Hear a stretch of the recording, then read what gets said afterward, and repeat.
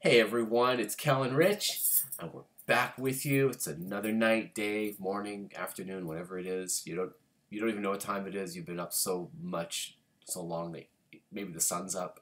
It's all good. Whatever it is, you, you you're here. So we're gonna make the, the time count. My name is Rich. This is my wife Kel. Hi. And we provide first reaction videos to everyone, and we span the genres of metal all the way to progressive rock and anything and everything in between. That's awesome. We start the production time off, the videos that we're doing with something called Well Diggers. And in this case, these guys, Kansas, introduced me to just really great rock. And it could it can be seen as progressive rock. It's definitely not um, metal. It's nothing like that. But it, it's it's it's the '70s sound that is so familiar to so many of us that uh, grew up with it or just heard it on the radio and things like that. And this is one of those kind of more obscure cuts that was still on the radio, but it was kind of like a B-side, I think. And I just wanted you to hear it, right? Yeah, it's just one of these kind of fun songs. We just came off of a you know epic soundscape of Yes, uh, Closer to the Edge. You might want to check that wow, out in that the playlist. Yeah, so I figure we'll just kind of switch gears a little bit.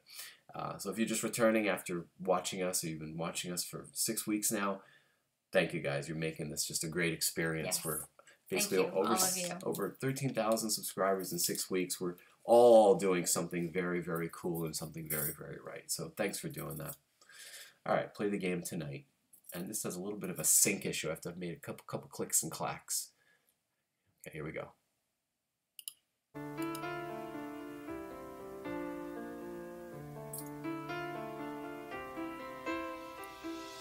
It might be a little delayed for now, and then it'll it'll catch up.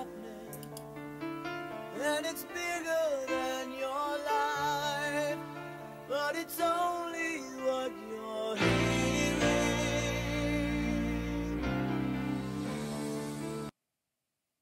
There it You still remember It's an internet thing. when the morning light has come? Will the songs be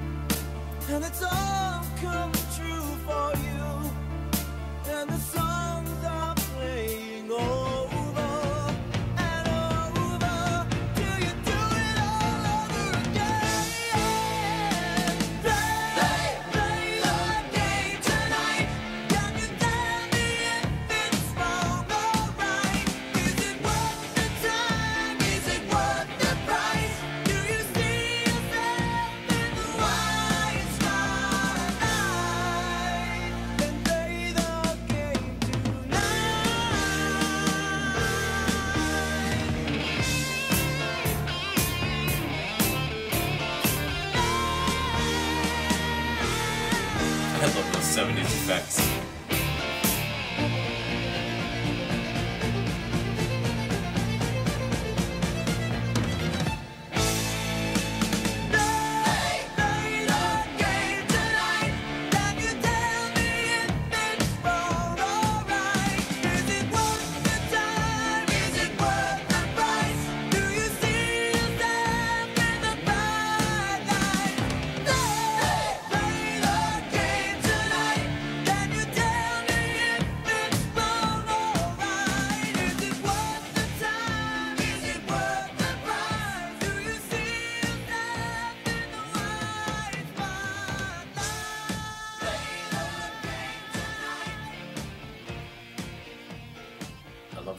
Outro riff.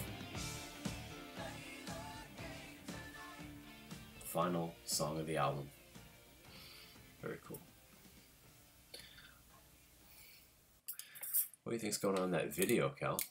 I I think for the time frame that it was made, even though I have no idea when that is, I can only imagine it was before I was born. 77, 78. Okay, and the video, I don't know, maybe in, in the 80s. I don't know. Okay, so I was born in 75.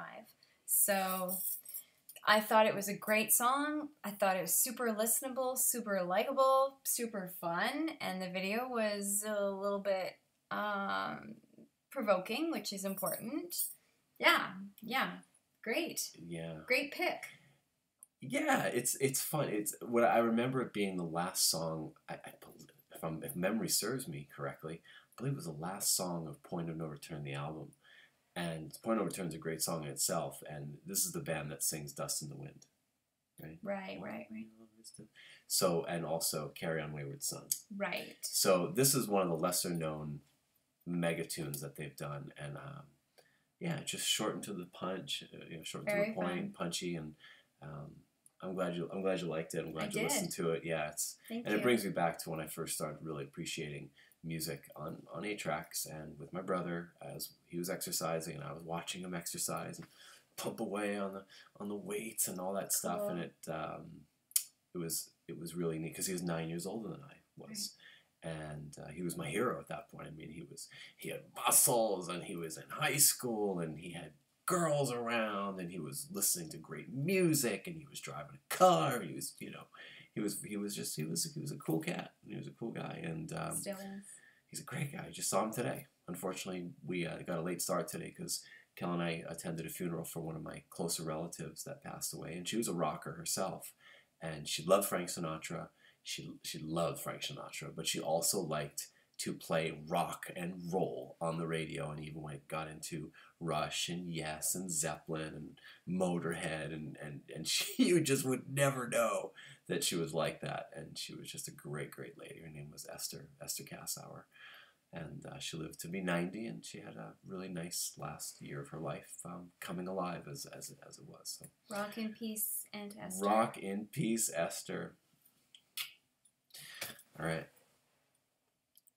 thank you my love. Kiss for Thank good luck. Kiss for good wishes. We'll see you soon. take care everybody. Bye. later